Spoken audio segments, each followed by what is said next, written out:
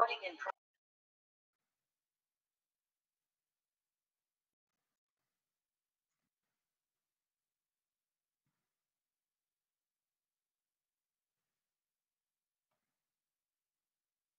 right.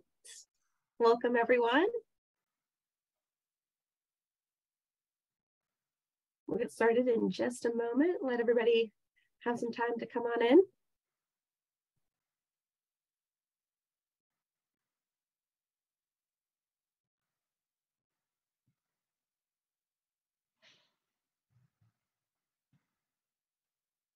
All right. We'll go ahead and get started. Um, uh, welcome to Preservation North Carolina Shelter Series. I'm Julianne Patterson and I'm Preservation North Carolina's Outreach Manager.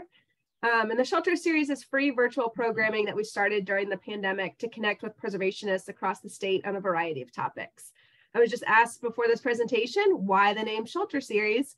Um, and it's really because it's tied to uh, back at the start of the pandemic when we were sheltering in place. Um, but now that we're kind of getting out of the pandemic, maybe we need another name. So if you have suggestions for how to rebrand this, definitely let me know. Um, so because this is a webinar, we can't see or hear you, but the benefit of being live is that we know you're there and we can still interact with you through questions at the end. So please go ahead and ask questions at any time during the presentation. Uh, just put them in the Q&A box at the bottom um, at the bottom of the Zoom window, and I'll moderate all questions at the end of the presentation. Um, if at any time you're having technical issues, please let me know that as well. Uh, you can use the chat box and I'll do my best to help out. So our shelter series have always been free and we hope to keep it that way, but I do want to extend a huge message of gratitude to those of you that added a donation to your registration today. Your support, either through registration or membership with Preservation North Carolina, helps us accomplish all of the educational programming and preservation work we do around the state. Today's presentation was a suggestion from our former Western Regional Director, Ted Alexander. He's a resident of Shelby.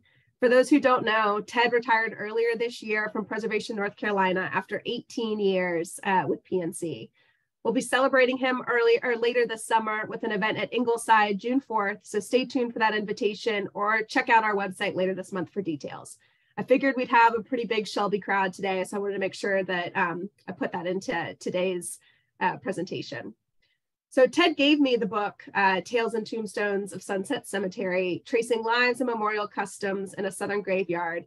And he especially noted how different it was from other books about historic cemeteries.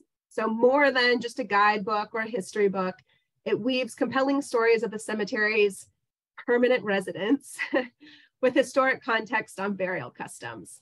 If you don't already own the book, you'll definitely want to get it after today's presentation.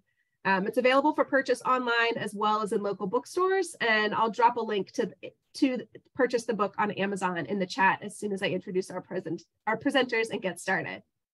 So our first presenter today is uh, June Hadden Hobbs, who's a professor of English and director of undergraduate research at Gardner Webb University in Boiling Springs, North Carolina. She's the former editor of Markers, the International Journal of the Association for Gravestone Studies. In 2017, she received the Harriet Merrifield Forbes Award for outstanding contributions to the field of gravestone studies, the highest honor a gravestone scholar can receive. Joe DePriest has a 50-year newspaper career, including work as a reporter for the Shelby Star, the Charlotte Observer, and other local newspapers. His North Carolina Newspaper Association awards include one for an account of his 1994 return to Vietnam, where he served a tour of duty as an Army journalist. And uh, not probably not joining us today, but also involved with the book uh, is Hal Bryant, who's a native of Greenville, South Carolina, and has lived in Cleveland County since 1974. He has a, B, a BA uh, from Gardner Webb University and an MA in studio art from the University of South Carolina. He taught art and photography at Cleveland Community College until 2015. And with that, I will hand it over to our presenters. Okay, thank you, Julianne. We're going to begin with a beautiful aerial shot of Sunset Cemetery that Hal Bryant took. This is one of his gorgeous drone shots, and I'll let Joe begin with a brief history of the cemetery. Cleveland County was formed in 1841 by act of the state legislature. A wealthy um, farmer by the name of James Love donated the majority of for the county seat, Shelby, And another wealthy landowner, uh, William Forbes, donated 40 acres, and that's where Sunset Cemetery is located. There's an 1850 map of Shelby, and at the left-hand corner is of the word is the word graveyard. So it was a Shelby Graveyard in 1850, and later it became known as Shelby Cemetery. And sometime around turn of the century, it was named Sunset Cemetery. And uh, in the many strolls around Sunset that June and I have taken, the earliest tombstones we have found date from the mid 1840s. Uh, but there are many that are, are broken or so worn that you can't tell uh, when they went up. You're looking here at the old part of the of Sunset Cemetery. There is a newer part down the hill. It's actually a very large cemetery. You'd be surprised. When I look at this, I see something different from what Joe sees as a historian. I'm looking at this as an example of a movement among cemeteries that began in 1831 in Cambridge, Massachusetts with the founding of Mount Auburn Cemetery. Mount Auburn represented a new way of looking at cemeteries. It was deliberately located outside of the town of Boston. It was deliberately planted with beautiful trees and, and flowers, and people were encouraged to put up works of art or at least pleasant, uplifting sorts of monuments. It was supposed to be a place where people could go to renew themselves in the industrial age. It was very different in that way from earlier uh, burial places. Even the language that people used changed. This is the time when people stopped talking about graveyards and burial places and instead called them cemeteries. Cemetery is from the Greek for sleeping place. People started call, talking about the boxes in which they put bodies uh, and, and calling them caskets instead of coffins. Caskets are a place where you would put something precious. A coffin is, well, a repository for a dead body. That's about it. And when I look at this, the beautiful trees and also at the family plots, I see the kind of cemetery that was part of this movement as it spread across the United States although this part of the cemetery, in this part of the cemetery, you see pretty much right angles. There are also areas of this older part that have curving walkways. The idea is you're supposed to go there and, and be uh, renewed because you're going to get lost. You're going to leave the workaday world behind. I thought I would tell you quickly about how this project came together. Joe and I met when the Association for Gravestone Studies had its annual meeting at Gardner Webb University in 2019. He was interested in coming to the conservation workshop, sent me some emails. One thing led to another, and we found out we were both interested in Sunset Cemetery. So eventually we began kind of walking around together, and he would tell me about the people buried there, and I would tell him about the tombstones. So one day he, he sent me a message and asked if I knew there was a witch buried in Sunset Cemetery. And I told him that, well, no, I didn't know that. And he said, yes, that there was a gravestone with a pentagram on it. You can see it here. And in fact, I learned later that the rather steep hill next to this is known as Witch Hill by cyclists. And there were signs of occult rituals candles and so forth. So I said, well, you know, I need to check this out. We met at the cemetery and I looked at this and I said, Joe, I really hate to burst your bubble, but that's an Eastern Star symbol. It's not an occult symbol at all. But if you know Joe, you know he's like a dog with a bone when he is on the trail of a good story. He just couldn't let it go. One Saturday night, around 1889, way back in the North Carolina mountains, Cashiers Valley in Jackson County. A teenage boy by the name of Felix Eugene Alley was going to a dance. He was overwhelmed with excitement because he had a plan this evening. The girl he was in love with big time, her name was Kidder Cole, and he thought she was the prettiest girl in the whole wide world, was going to be at the dance, as she had been many times, and he had danced with her, except that he wasn't the only young man infatuated with her, and people kept cutting in, including, of all people, his cousin Charlie Wright, so that he um, his time with Kidder Cole had been reduced drastically.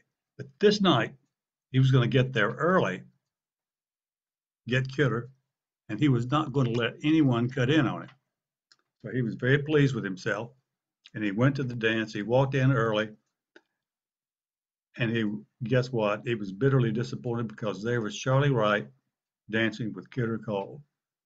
And so a dejected Felix Alley went back home. He sat down with his banjo. He was a, a very talented banjo player, clawhammer style, the old old fashioned kind. He sat down and that evening he wrote the Ballad of Kidder Cole, which recounted the events of the evening. Flash forward to 1929, the great minstrel of the Appalachian, Bascom Lamar Lunsford, recorded the Ballad of Kidder Cole, which had already gained a wide reputation in the mountains as a classic tune, and it became a national uh, hit. And uh, but unfortunately, neither Felix or his cousin Charlie scored with um, Cole. She married a gentleman by the name of A.S. Nichols and went on to um, live in the Asheville with him in the Asheville area. And Felix went on to um, become a lawyer and a very respected Superior Court judge in Waynesville. And um, in 1947, when Kidder died, her her daughter, her only child, lived in Shelby. So she brought her mother back to Shelby and had her buried in Sunset Cemetery. Now, uh, if you visit Kidder on a clear day, if you visit her her tombstone, she's buried at such an angle that on a clear day you can see the South Mountains of Cleveland and Burke County. Now, that's not Cashier's Valley where she was from, but for a mountain girl to be able to see mountains, still pretty good. And by an aside here is a young, a young and new uh, string band, the Appalachian Road Show, record, re-recorded the Ballad of Kidder Cole last year, I believe it was, and you can look it up on YouTube. Oh, it's, it's very cool. You'll want to listen to it. It's very, very catchy. Well, back to the fraternal symbols. In 1920, people were so obsessed with belonging to fraternal, sororial, uh, secret societies that you will find symbols of their societies all over the place. About half of the people in the United States belong to one of these in 1920. This Eastern Star symbol is just one. This one is very stylized. It has representatives of five biblical women in it, and the star is supposed to represent the Star of Bethlehem. So it's it's not an occult symbol at all. It in many cases has the letters F A T A L in the points of the stars. It stands for fairest among thousands, altogether lovely, a phrase from the Song of Solomon but it amuses me because it spells the word fatal. Uh, one pundit has said that perhaps that was a warning to people who might give away their secrets. Some of the other symbols that you will find, the most common one is the Masons, um, the square and compass with G in the middle for God, and also geometry, which was uh, sacred to them, and, and Shriners is another one on the right. In the early days of the 20th century, the late 19th century, people were pretty isolated. They needed their groups, they needed people to band together with. And because this was before the days of, of uh, life insurance, they also relied on their uh, fraternal organizations to help bury them so people could put in a little bit every month and then there would be enough money to bury them when they died. Uh, one of those symbols is on or was on this tree stump monument. It is worn away now, but the story of Dr. Jonathan Chauncey Gidney is a good one, and then I'll tell you more about the symbol. But Dr. Gidney and his family occupy some prime real estate in Sunset Cemetery. They're up front in the oldest section and um, even the most casual stroller, even they, they know nothing about uh, Dr. Gidney, will be taken by his tombstone, the, the tree stump. And they'll stop, usually stop and take a good look at some of the nice uh, flourishes on it. Uh, as I said, they may not know anything much about Gidney. He was a very prominent man in his day. He was uh, very active in the community and the Masons and the Woodmen of the world. Uh, he was super superintendent of health for Cleveland County. He was uh, city treasurer for Shelby. He ran a medical practice, and he also ran a drugstore. And the drugstore sold the usual items you would expect, but one specialty item that uh, Dr. Gidney sold was uh, a patent patent medicine line made by the Acre Company out of Buffalo, New York. And um, almost every day in the local newspaper, Dr. Gidney would run a small ad saying, plugging some miracle tablet that, that he had in the uh, dr- drugstore. This one ran in July of 1889, says, happiness and contentment cannot go hand in hand if we look on the dark side of every little obstacle. Nothing will so darken life and make it a burden as dyspepsia. Acker's dyspepsia tablets will cure the worst form of dyspepsia, constipation, and indigestion and make life a happiness and pleasure. Sold at 25 cents and 50 cents by Dr. J.C. Gidney. Unfortunately, Ackers didn't make a tablet that could help the doctor's chronic heart problem. And in October 1889, he died. And he was buried in Sunset Cemetery, where he has a tree stump to remind people who he was. Be sure to notice his footstone, which looks like a little uh, tree stump. I, it, I didn't even see it until our wonderful photographer, Hal Bryant, made a, a picture of it, and then I was really impressed with it. Well, right in the um, middle of his stone, right here, there was a an emblem for the woodmen of the world. You'll see one here on the left. It's worn away now because marble does not last long in in uh, our humid conditions.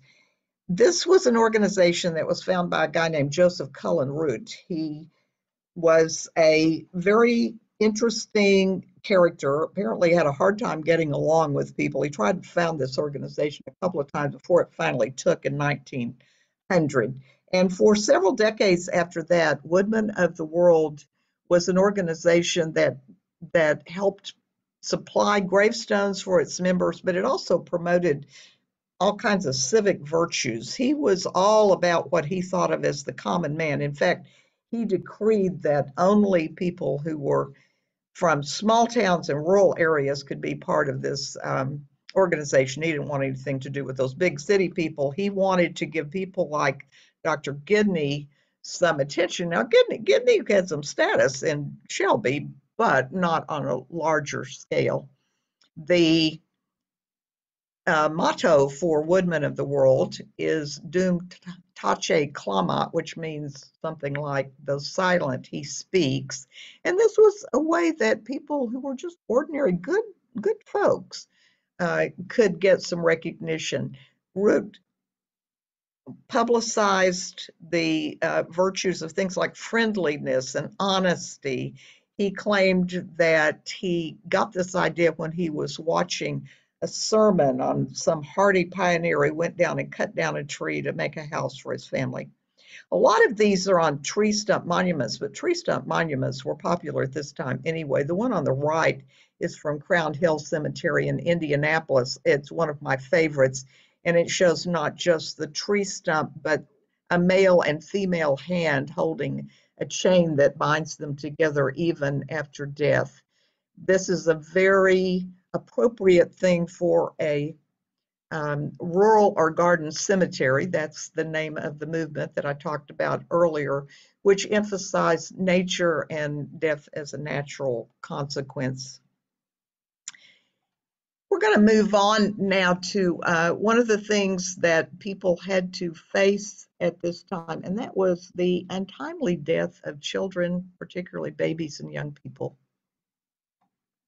On the morning of April 25th, 1896, 18-year-old Stowe Lattimore woke up and hit the, probably hit the, the floor with a, a bounce and a spring because he was excited.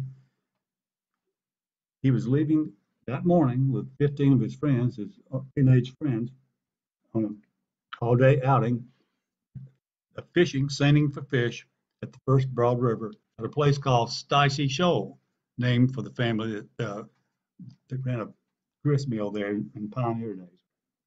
It was an idyllic place, uh, especially liked by the young people because of the idyllic setting and and uh, so they all met on the court square in Shelby and they headed down down to Lafayette Street, about five miles to Stacey Shoal on the first Broad River. And Stowe was one of one of four boys that went into the uh, the water to seine for fish. Well, they got caught in a current, a circular current uh, near a rock suck hole, and one of the boys went under and Stowe went to his rescue. And he struggled, and he but he finally got the boy free from the, the suck hole and, and pushed him on onto the um, land. But unfortunately, it, then it got got Stowe, and his body was found about a mile downstream after that big search. And they brought him back to Shelby. And there was a funeral at his home church, Shelby Baptist Church. And the eulogy, the principal eulogy was given by future Congressman E.Y. Webb. And um, he got a, a pretty good eulogy, I may say. And among the many things that Webb said that um, just five years from the time he, he's talked about Stowe, was buried in baptism to the time earth opened to receive him. It, it is beautiful and consoling, though to his mother and father, that they had such a lovely flower to bloom on earth and so soon to be transported to adorn the garden of paradise. Then they took Stowe a couple blocks west to Sunset Cemetery. And there he is today, the boy who went to on an outing with his friends, just a typical, ordinary 18 year old boy, and he came home the same day, a hero. So, how do people cope with things like this? I mean, and by 1900, it was still the case that about half the deaths were of babies and young people. One thing that took a lot of young people off was tuberculosis. But babies, you know, most of the people, children who were born in the United States uh, didn't live long enough to reproduce. About a fourth of them died before they were three, and about half before they became adolescents. So, how did people cope? Well, one of them was reflected in that epitaph. If you look on the left here, this is the my favorite gravestone in the in the cemetery. This is the gravestone for little Georgie Clower, a five-year-old who died in 1878. Don't have much information about why she died, but her tombstone has on the bottom the most common of the epitaphs for children and and babies budded on earth to bloom in heaven. This was so popular that idea that babies could be born on earth, but then they, they weren't just gone. They were going to grow up in heaven and be taken care, care of there and be ready to meet their parents when they too were ready to join them. This became so popular that it was one of the two, one of the epitaphs featured in the Sears catalogs, Tombstones and Monuments catalog that came out in 1906. There was a, a similar one for Montgomery Ward. You could buy a tombstone of about this size for maybe $70, and the epitaph added about 70 cents for it. This was a comforting idea. You also see at the top of this a hand pointing up, and the ribbon there says Gone Home. Children and particularly women were seen in this industrial age as pure agents who stayed in the home and sort of redeemed the awful realities of the world for men, their fathers and brothers and husbands and so forth, who went out to work. And so you often see hands like this, often with frilly cuffs on them, pointing you to heaven, or coming down to pull up flowers, or uh, doing all sorts of other things. Hands, people in the 19th century were kind of obsessed with hands. They're all over the place, probably as a result of the fact that people were beginning to feel more agency in their own religion. On the right is another tombstone for a little one. This is for a toddler, little Jane Webb, and hers has on the bottom one of the most popular hymns of this era, Safe in the Arms of Jesus by the great Fanny Crosby. This was her most popular hymn in her own time, and it was it was a comforting idea that a baby who died or a small child who died never had the chance to sin, and that child would be held safe in the arms of Jesus and would remain pure forever. And this became one of the ways that uh, people comforted them. Jane Webb's tombstone, if you could see more of it, is actually a little cradle. These grave cradles became very popular as the idea of the cemetery as the place where people were resting or sleeping became more popular uh, in America. All right, some famous names. Well, a, a brief uh, resume of Oliver Max Gardner is on his, his gravestone. Governor of North Carolina, father of the Consolidated University of North Carolina, benefactor of Gardner Webb, and um, Undersecretary of Treasury, ambassador to Great Britain. Um, he was a high achiever from the very beginning. Now, Max uh, lived right across the street from the cemetery. And as a young youngster, he walked across the street sometimes when he wasn't busy to walk among the um, tombstones. And he was known to occasionally lie down on his back and gaze up at the at the clouds. I like to think that he was uh, gazing into the future, wondering what um, life held in store for him. Well, he um, earned uh, the first, the only scholarship to what became North Carolina State University. And he was a high A student, captain of the football team, star football player, manager of the baseball team. Um, you name it, Max was number one. And he uh, went on to, for a while, he taught chemistry. Then he got into, uh, he got a law degree and um, opened a law office and got into politics, and the rest is history. When he left the governor's mansion, and by the way, when he was governor of North Carolina, Franklin Roosevelt was governor of New York, and they became friends. So uh, when Roosevelt was elected president, by that time, Gardner's law office was in Washington, D.C., and he had some of the biggest clients in the country. Uh, but he would go over to visit uh, the White House to visit uh, Roosevelt, and he had Roosevelt's ear because uh, he knew that Gardner was not looking for an appointment or you know looking for something. So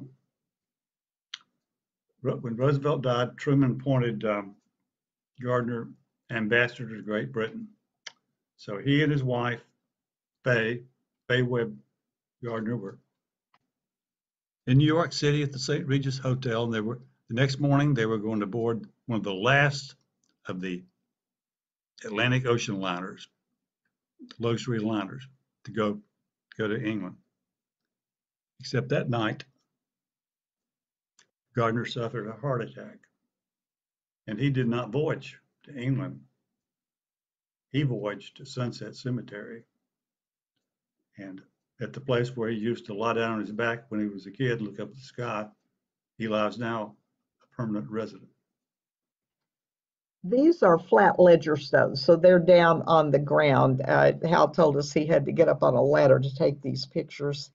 If you look at Fay Webb Gardner's stone, you see that there is a big difference here. When I take students to the cemetery, I use these two stones to teach what's called gender formation. How do you figure out what it means to be a man or what it means to be a woman. And you can see that on Governor Gardner's stone, it's got all these amazing accomplishments, but she is known by her relationships, wife of, daughter of, mother of. And that is common in all cemeteries at this time. Um, there's only one stone that I know of in the older part of the cemetery that has a woman's occupation listed, and that is she was a missionary for 43 years, but that is actually under the place where it says she was the wife of someone, and she was only his wife for seven years. So uh, it's clear what was what was most important. This is very interesting because Mrs. Gardner was a very accomplished woman. She ran family businesses. Um, she was a politician. She planned JFK's inaugural ball. William Friday, who was the president of the University of North Carolina at that time said, and I think her husband would have agreed, that if she'd been born a few years later, she would have been a prime candidate for our first female president. But she wrote in her diary that being a wife and mother was the most wonderful calling a woman could have. And who are we to impose our 21st century ideals on her? Okay, we're going to uh, take a look at, at one of our local heroes, someone you might know, Don Gibson. Don Gibson was a poor boy from the South Shelby Mill Hill. He wandered around town as a kid. He told me, he was a friend of mine, he told me that he uh, stopped going to school in second grade and nobody seemed to care. He just wandered around town. Um, he had a, he was very shy, extremely shy and he had a severe stutter, and that made it even worse. So there's little Don peeking into cafes, wishing he had enough money to go in there and eat. And at some point in his childhood, he, he discovered music. So he listened all kinds of music. It didn't make any difference what kind. He listened to the Grand Ole Opry with his family on Saturday night. Uh, listened to jazz, classical music. He told me that um, one of the pivotal points was after World War II, when the GIs had been in a station in in Paris and came home, and they a lot of them brought back 78 RPM records by a um, gypsy guitarist by the name of Django Reinhardt. And when uh, little Don heard Django's guitar playing, that really uh, turned him on, and he was a lifelong fan. So he began playing in um, local bands. He started a band of his own uh, called the Sons of the Soul, and uh, they made a record and they played uh, radio stations in Shelby and around around the region. And you know, he always dreamed of it. You know, he, he told me the music was the only thing he was ever good at, and so he dreamed of being on the Grand Ole Opry, but the, stepping stone to the Opry was WNOX in Knoxville, Tennessee. So he took off. A friend helped him get a, a gig, an early morning, uh, a, a brief early morning show on, on WNOX. And to supplement his income, he would uh, play beer joints and um, honky tonks and try to make a few extra bucks. And he was always unlucky in love. And uh, he said one day it was June the 7th, 1957. He's sitting in his uh, trailer, a trailer park in, in Knoxville, watching the Repo Man haul out his TV set and his uh, appliances. And, you know, his, his girlfriend's left him. He's had a bad day. And that's the day that he wrote two songs one called Oh Lonesome Me, and the other, I Can't Stop Loving You. And they would, in time, elevated him into a major star. He became a premier songwriter and entertainer. Instead of the beer joints, he was playing the Opry and the Hollywood Bowl. However, uh, he told me he, you know, he got into drugs and alcohol, and uh, he told me that the '60s were just a blur to him. And so one day in uh, 1969, he was passing through Shelby, stopped to see his his relatives, and uh, a young woman that he had, he had known when she was a little girl in Shelby, named Bobby Patterson, uh, was there, and they renewed their friendship and uh, quickly married.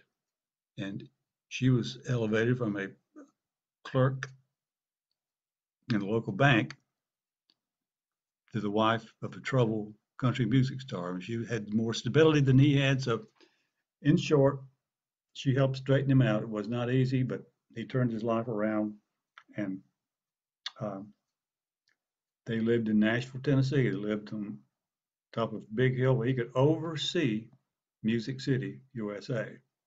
But when he died, there was never any question about where he was going to be buried, Sunset Cemetery. And Bobby put up a, a nice uh, a nice monument that you'll be seeing picture of and uh, to pay tribute to her husband. And so the the once shy, stuttering little boy who wandered around aimlessly around Shelby came home and his life is summed up by the, one of the song song titles on his uh, tombstone might be a legend in my time Mrs. Gibson was uh, very gracious to let us interview her. She says that this very large monument represents her big love for her husband. She got the idea from it from the a monument for William Brimage Bate, General William Brimage Bate in um, Mount Olivet Cemetery in Nashville. He was a Confederate general and then uh, governor and so forth in in Tennessee. And you can see there's a great deal of uh, similarity here. She had 26 and a half tons of green granite imported from India for uh, Don Gibson's monument. They had to sink posts six feet down in the ground to support it. And you can see that it's a very classical looking monument. This is one of the characteristics of American cemeteries starting in the days following uh, the founding of the nation. We were faced with an interesting problem, and that is that America was a brand new nation. We didn't have any history. So there was a lot of talk about what we should do to represent us. What was our art and our music and our literature? Thomas Jefferson said that what we should do is borrow from uh, the classical times, from ancient Greece and Rome, and that is exactly what happened. So you're going to have things like the Doric columns that are right here behind the Gardner graves and, and that were also represented on Don Gibson's monument, also lots of obelisks because that was something that uh, were part of classical um, memorials. In this very old stone, this may be the only oldest stone we've been able to identify, you'll see the common uh, urn and willow pattern, which was part of classical design. And over on the right, one that is ubiquitous in American culture. This is eggs and darts. Uh, the round part is the egg representing life, and the uh, little sharp pointed thing in between is the arrow representing death. And so American cemeteries, starting with uh, post-revolutionary times, are full of these reminders of ancient Greek and Greece and Rome when Horatio Greenough made a statue of George Washington, he picked up on this. He pictured him in a toga. The idea was that he was uh, a representative of all those values that were part of American values, civic responsibility. We didn't want fluff, we wanted um, utility, strength, beauty, that sort of thing. And so you'll find this represented in the cemetery. Um, we're going to look now at a, at a couple of interesting characters. We call this chapter Rebels and Revisionists, and we'll start with W.J. Cash. Wilbur Cash was born in Gaffney, South Carolina. His parents were uh, staunch Southern Baptist um, churchgoers.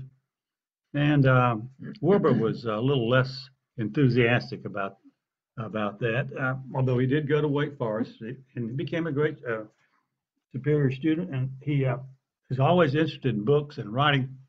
So he was the editor of the Wake Forest um, paper and he won a literary prize up there for a story he wrote in the magazine. And he graduates and he teaches school for a while and, he, and knocks around from uh, newspapers to newspapers. He's writing on the side. He has a fondness for alcohol and tobacco. And uh, so in, in 1929, he submitted a manuscript to the American Mercury, very influential uh, uh, magazine in this country, edited by H.L. Mencken. And uh, the name of the article was The Mind of the South. And Mencken was um, impressed and he published the story and uh, came to the attention of the uh, distinguished book publisher Alfred A. Knopf, and he contacted uh, Cash and said, uh, "Could you turn if you could turn this uh, article into a book? I would be interested in publishing it." Well, Wilbur was uh, very happy to say the least, so he goes to work. This is 1929. And he's working part-time in newspapers and uh, Charlotte News and has to work pretty hard. Then on weekends, um, he likes to listen to classical music and have a cocktail or two or three. And uh, so he doesn't get much done work on the weekends. Make a long story short, by 1936, he had written Knopf and said he had completed all but two chapters of the book. And so that was 36. So 39 rolls around and he hasn't turned in those two chapters yet. And Knopf tells him, we're going to publish this at the next, you know, in 1940 on our 40 list, whether you finished it or not, we're going to publish what you've given us. So Cash went to work, buckled down, and he did did finish the book. In the meantime, on Christmas Day, 1940, this young woman he had met in Charlotte, Mary Northrop, they drove to York County, South Carolina, where they were married by a magistrate. So, uh, book is slated to be published in February 1941. He's married in December 1940. Book comes out, uh, gets a lot of attention, full page in the New York Times book review, uh, uh, mostly good reviews. And uh, on the basis of this, uh, Cash wins a $2,400 uh, Guggenheim Fellowship. And it's to, he chooses to use that money for him and Mary to go to Mexico City, where he's, he's going to write a novel set in a North Carolina mill village.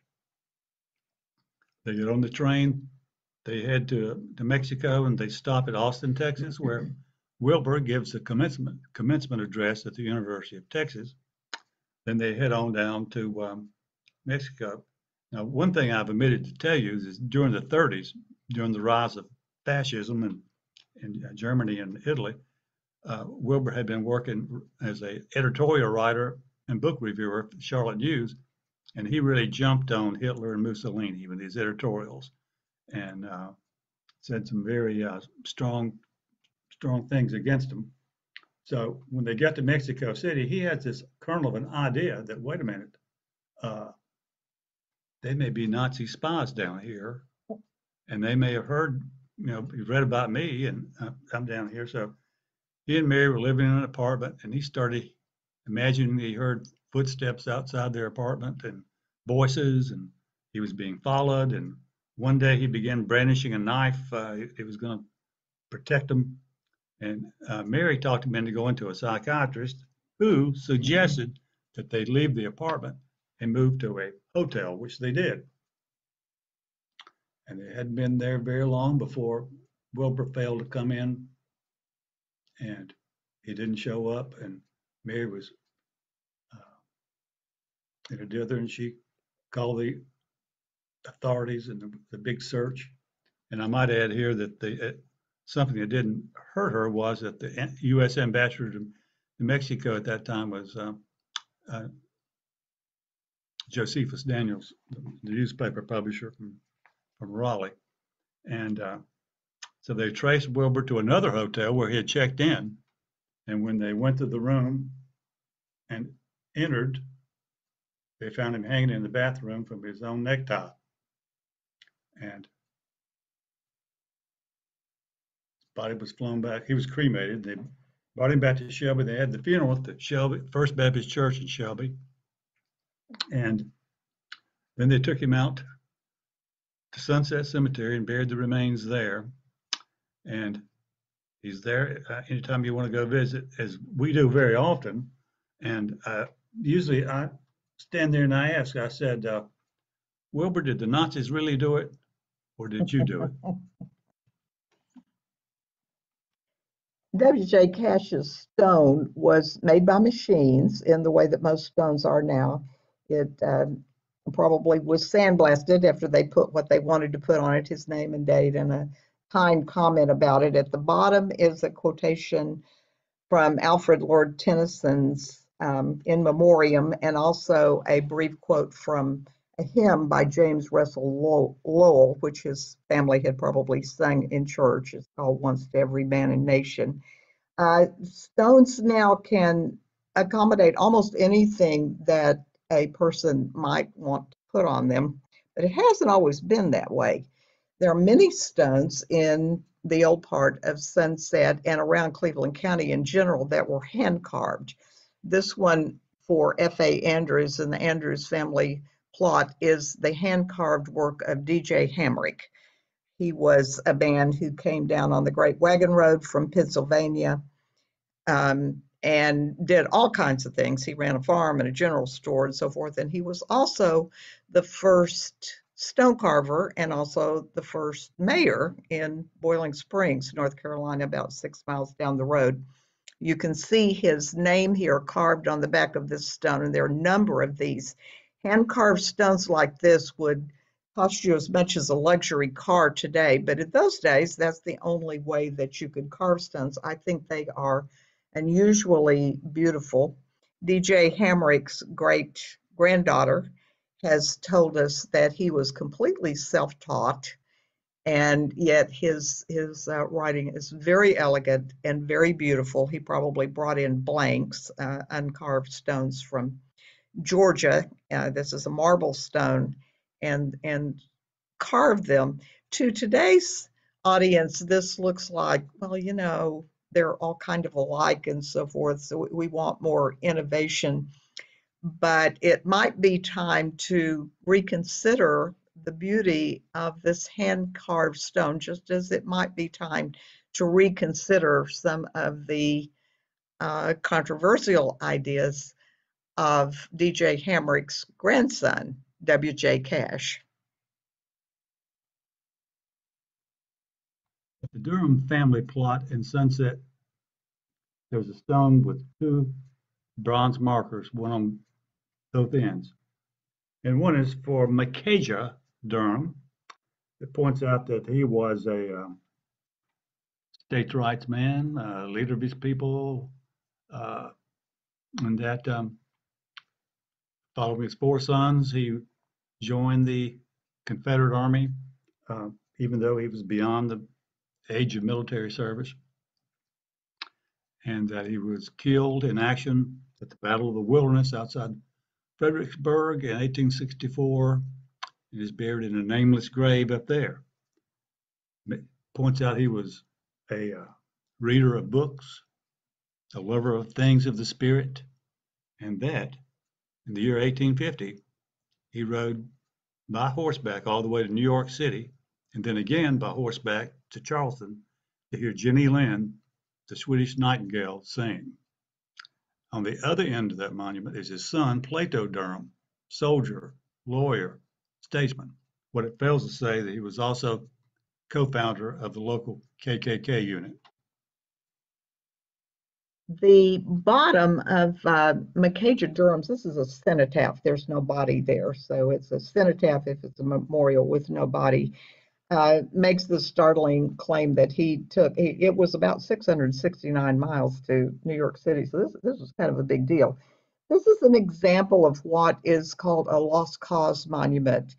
He is lauded as a part of the Confederacy, but it, he is also praised for being someone who was about the finer things in life. So this kind of retells the story of the Civil War, not as a fight to maintain slavery in the South, but as a way to maintain a certain genteel um, way of living. When I first came here, many people told me that all Southerners were aristocrats, which is actually not true. Uh, that's one of the reasons people were not fond of W.J. Cash. He undermined that theory, but this this uh, retells the story. There are around Sunset Cemetery lots and lots of memorials to to Confederate soldiers. Many of them are marked with this uh, marker on the left, the Southern Cross of Honor. It has CSA and the battle flag on the front. On the back are the dates of the Civil War and the motto of the Confederacy, Deo Vindice, which means something along the lines of with God as our defender. These monuments often laud the personal commitment and heroism of these soldiers, and their families are, are justly proud of those attributes. But on a whole, many of these monuments are also about romanticizing the Civil War and the, the reasons for it. To sum it up, I have put pictures of three benches that are in Oakwood Cemetery in Raleigh. This was a cemetery founded specifically to take the bodies of Confederate soldiers. Some of them were, in fact, moved from Gettysburg there.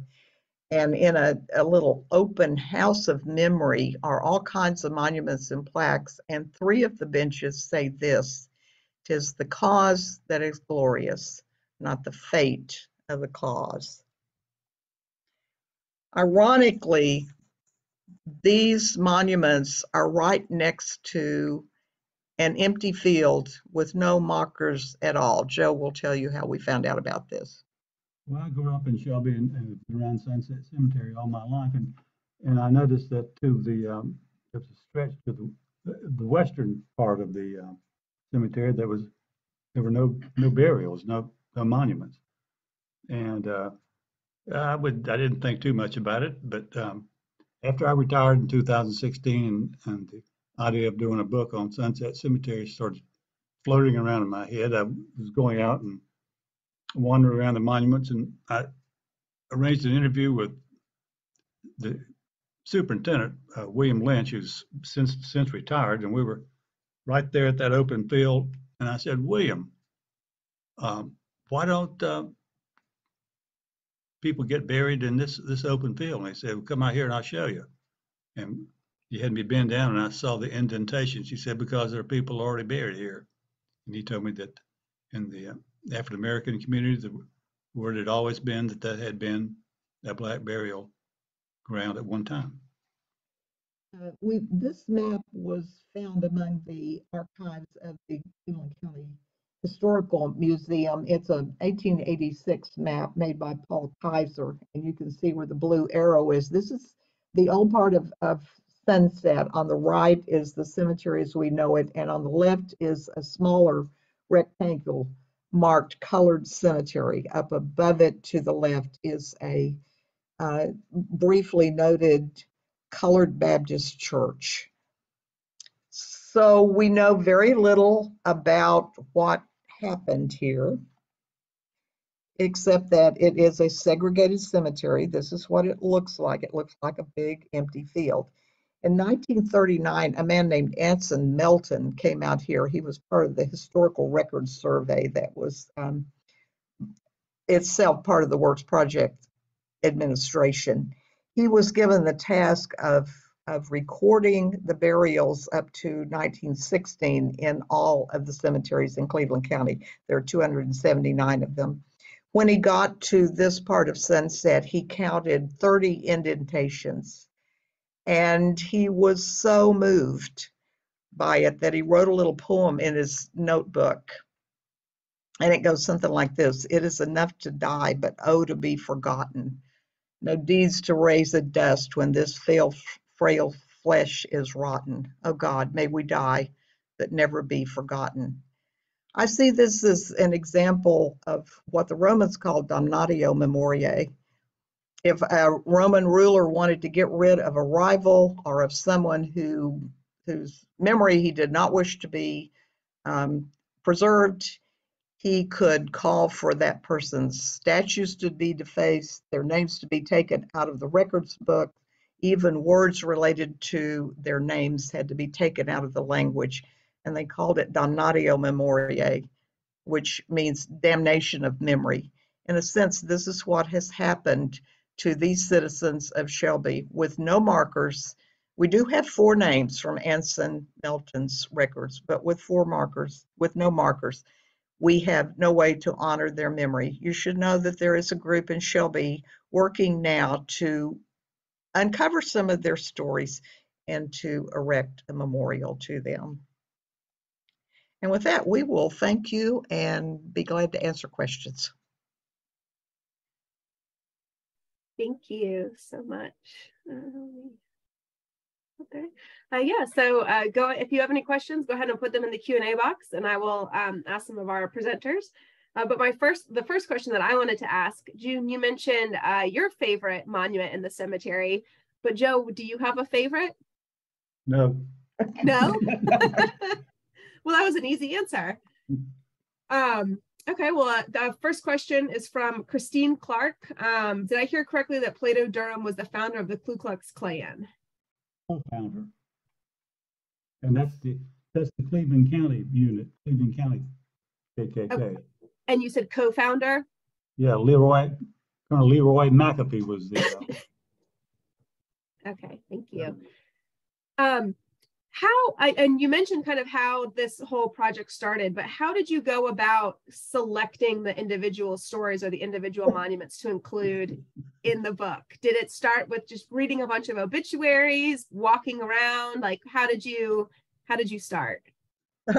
Publisher wanted to know that too and we we tried to put that into words but it, it was kind of hard to do. It just started sort of organically. I had my favorites. George uh, joe had his favorites and we would just kind of walk around in the cemetery and get off the beaten path and we would run into one that we hadn't seen before and then start um, researching it. A lot of the stuff that i talk about is stuff i already knew from years of studying gravestones and tombstones and a lot of the stuff that joe writes about he had written about uh, or studied in the past and it it kind of came together in an, in an almost magical sort of way. Um, there was so much more that we could have talked about and, and didn't because there were so many interesting stories. Every burial there represents a human being, a rich, interesting life, and the way that people deal with death and their ideas about the afterlife and what life means and so forth. Endlessly fascinating. People tell me sometimes they think I'm morbid, but I don't think we're morbid at all. No, because we're talking about, I mean, living peoples erect these. These are monuments to lives. Yeah, well, that's what I think was so kind of unique and what made it so interesting to read was that it was it's kind of like a little microcosm of the culture and the society in this one town. Some people that left but still came like came back and were buried in the cemetery um, but also everything in the book about memory and kind of how that's as you just said kind of uh, one of the themes of the book is just living how living people choose to um, remember and memorialize those who have passed away and how how that kind of evolves over time. Um, so really fascinating. Um, does anybody else have any questions for our presenters I'm going to drop a link to order the book um, in the chat again for anybody that may have joined us a little later. Um, and we do, we just got a question from uh, Betty Stoddard. Um, an incredible hour together, a visit to the other cemeteries. Uh, we've seen markers and stones. The stories are quite fascinating, of course. So thank you, Betty. Um, all right, well, if there's no other questions, um, I just want to say thank you again to our presenters today and for everyone who joined us watching live or who's watching this virtually after the fact. Um, and then as I mentioned earlier in the in the presentation, if you have a suggestion for a different name for these presentations, definitely let me know.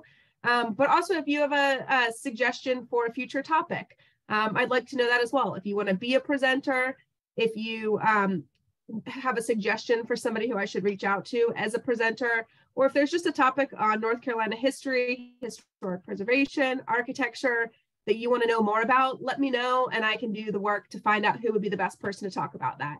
Um, a few people have started to send me some suggestions, so I love that and uh, appreciate that. So definitely reach out. My email is jpatterson at presnc.org, or you can just reply to your Eventbrite registration and that comes directly to me as well. Um, so unless uh, Joe and June have any final words, um, I'll just say thank you and hope everyone has a great night. Thank you. And we got a, another little note from Christine Clark saying thank you. so thank you again, everyone, for joining us. Have It a good was night. a pleasure.